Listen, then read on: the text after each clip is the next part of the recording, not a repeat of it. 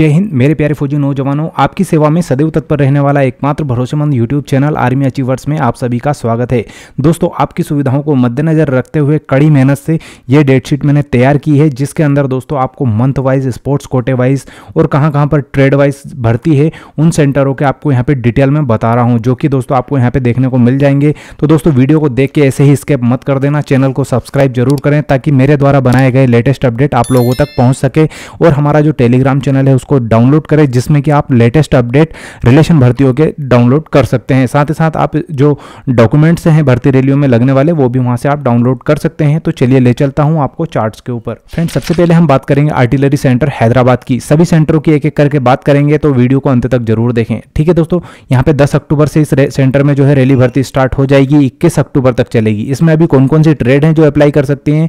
वो है general duty as tradesman और नेशनल इंटरनेशनल वाले स्पोर्ट्स वाले बच्चे भी अप्लाई कर सकते हैं।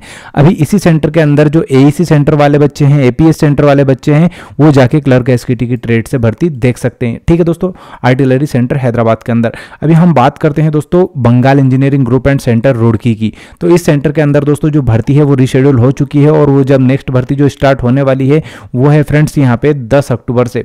दस अक्टूबर से चलेगी तो पंद्रह अक्टूबर तक चलेगी और इसके अंदर कौन कौन सी ट्रेड है, उस चार्ट के अंदर नहीं लिखा हुआ है। बाकी पुराने चार्ट में दोस्तों जीडी क्लर्क वगैरह सारी ट्रेड थी।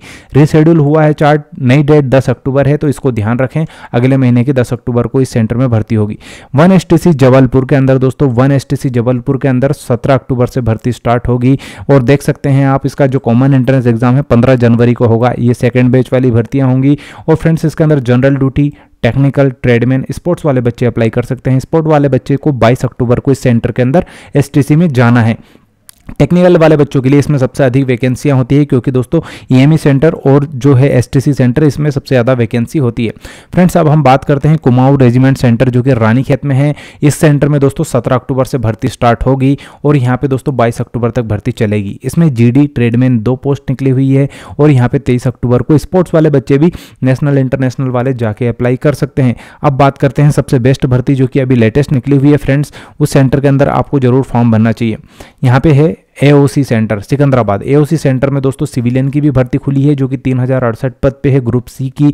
इसके अलावा दोस्तों अग्निवीर से रिलेशन की भर्ती खुली है, जो कि 29 अक्टूबर से स्टार्ट होगी।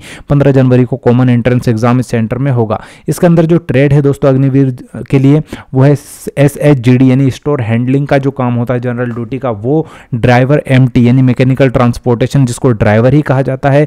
इसके अलावा शेप और क्लर्क एसकेटी टेक्निकल आमिनेशन एग्जामिनर की इसके अंदर पोस्ट निकली हुई है। ठीक है दोस्तों आमिनेशन एग्जामिनर की पोस्ट बहुत ही अच्छी होती है टेक्निकल के लिए।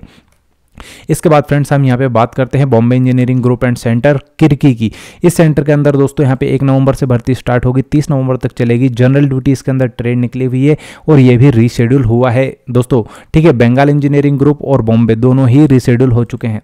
अब फ्रेंड्स अब बात करते हैं अपकमिंग जो रिलेशन भर्तियाँ हैं उनके बारे में। तो जिसमें है वन ई सेंटर सिकंदराबाद। अभी तक इसकी भर्ती का चार्ट हमें मिला नहीं है। एएमसी सेंटर और दोस्तों आरबीसी सेंटर एएमसी सेंटर में इंसानों का इलाज होता है उसी तरह से आरबीसी सेंटर में जानवरों का इलाज होता है। दोनों ही सेंटर की नहीं आई है क्योंकि दोनों में ही नर्सिंग असिस्टेंट की सबसे ज़्यादा वैकेंसी होती है। और नर्सिंग असिस्टेंट को अग्निवीर के अंदर शामिल नहीं किया गया है। तो जैसे ही दोस्तों जीडी क्लर्क टेक्निकल की भर्तियाँ खत्म होगी एम की भर्तियाँ धनाधन शुरू हो जाएगी। इसी साल के एंडिंग तक आप देख लेना, दिसंबर से जनवरी तक इनकी भर्तियों के नोटिफिकेशन आ जाएँगे। तो इनके लिए भी जो बच्चे अप्लाई करना चाह रहे हैं, वो तैयार रहें। जैकलाई रेजिमेंट सेंटर श्रीनगर का। दोस्तों, अभी तक चार्ट हमें मिला नहीं है। हो सकता है इस सेंटर में भर्ती हो रही होगी या फिर दोस्तों अभी चार्ट इसका निकल चुका होगा, मगर पहुँचा नहीं है हमारे पास। लद्दाख स्काउट और president bodyguard president bodyguard के लिए भी बहुत सारे बच्चे ज़रूरत, इसके लिए अप्लाई करना चाहते हैं।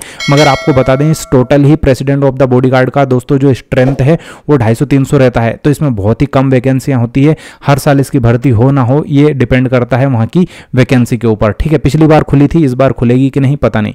पायोनियर क्रॉप एंड सेंटर दोस्तों बेंगलोर के अंदर है। इस सेंटर में भी बहुत ही जल्दी वैकेंसी आएगी, अभी तक नोटिफिकेशन मिला नहीं है। ठीक है दोस्तों, और जिन सेंटरों में भर्ती खत्म हो चुकी है, वो तो आपको पता ही है दोस्तों अगस्त, सितंबर और इन दोनों महीने में मिलकर ये सारे सेंटर्स हैं, छत्तीस, इकतीस सेंटर जिनमें रैली भर्तियाँ खत्म हो चुकी है या फिर अभी तीस सितंबर तक खत्म हो जाएगी, जो कि आप देख सकते हैं, ठीक है स्क्रीन पे?